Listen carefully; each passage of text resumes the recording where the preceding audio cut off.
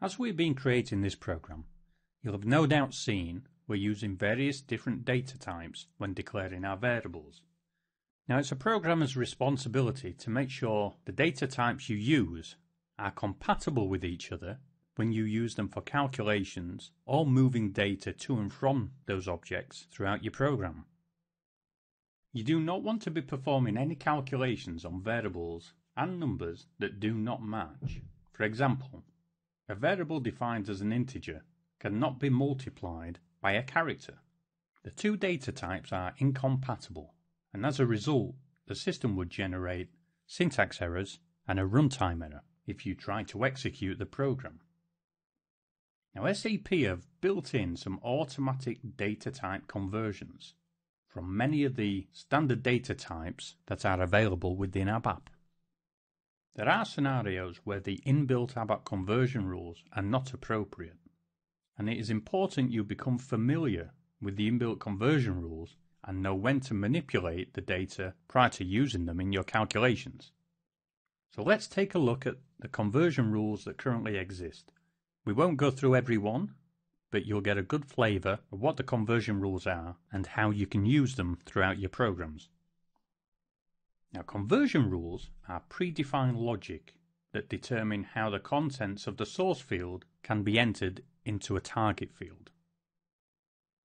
If you add an integer field containing the value of 1 and try to insert that value into a character string, the built-in conversion rules will determine exactly how this should be done without throwing any syntax errors or runtime errors.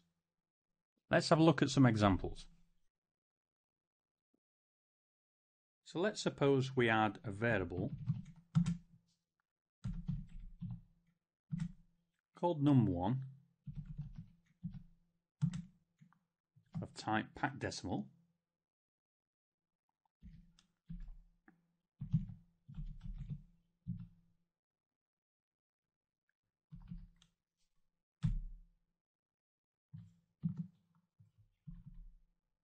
And we had the result oops. Help if I could code properly. We had a result of type integer.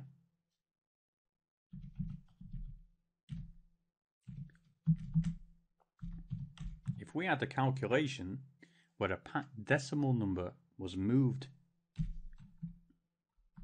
into an integer field the inbuilt conversion rules would round the decimal places of num1 up or down and insert the contents into the result 1 field.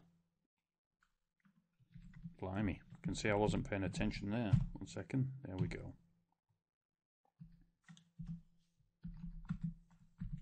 So let's fill this out a little bit more. So let's say we had a value of 3.33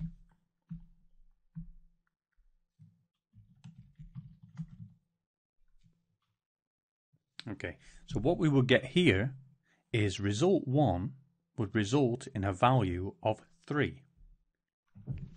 Probably best if we output this to our screen.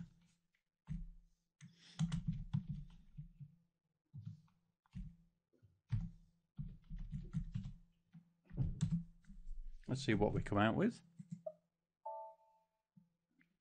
There we go. We end up with a value of 3. And that's because the inbuilt conversion rules rounded the number down. If we add the value of 5.55,